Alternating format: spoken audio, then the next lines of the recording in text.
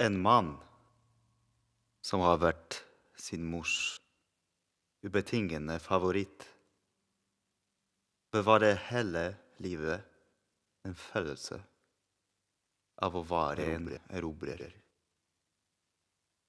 En følelse av suksess som ofte virkelig fører til suksess. Å være fullstendig ærlig over seg selv er den største innsats et menneske kan gjøre i sitt liv.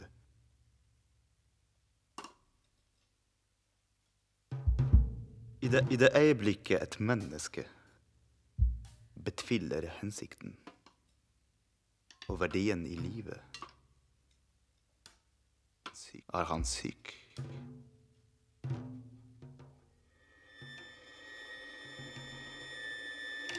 Aldri er vi så beskyttet overfor lidelsen som når vi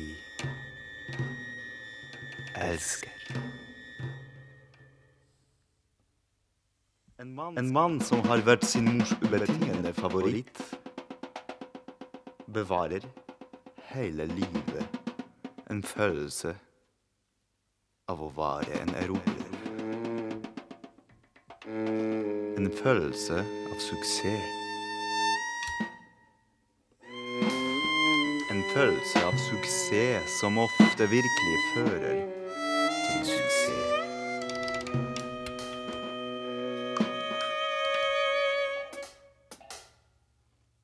I det øyeblikket et menneske betviler hensikten og verdien i livet, er han syk.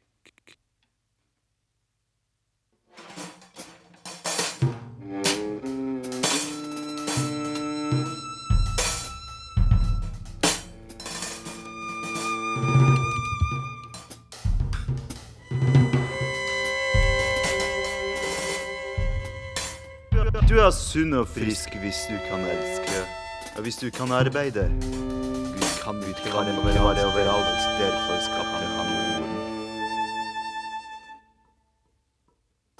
Aldri, Aldri er vi så beskyttet overfor lidelsen som når vi elsker. Å være fullstendig ærlig overfor seg selv er den største innsats et menneske, kan, gjøre i sitt liv.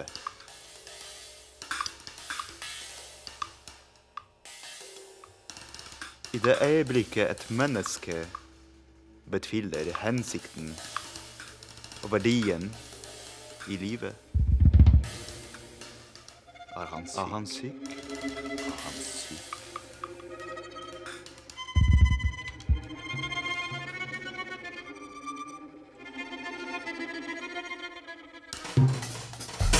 Det store spørsmålet som aldri har blitt menneske kan gjøre, og som heller ikke har hatt å finne svaret på, for en følelse oss for slik